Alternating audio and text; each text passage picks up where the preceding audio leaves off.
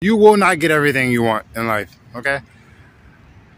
I am extremely disappointed because something didn't go the way I expected it to. So I feel a bit down, I guess, but that's life, you know.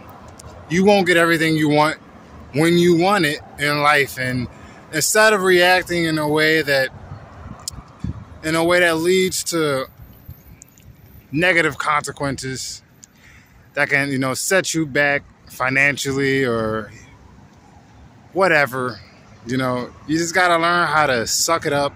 You got to learn how to deal with, you know, the obstacles you're faced with. You got to learn how to deal with the disappointment, you know, in your life. It's it's not about what happens, it's about how you react to what happens and how you adapt to what you didn't expect or, you know, your disappointments.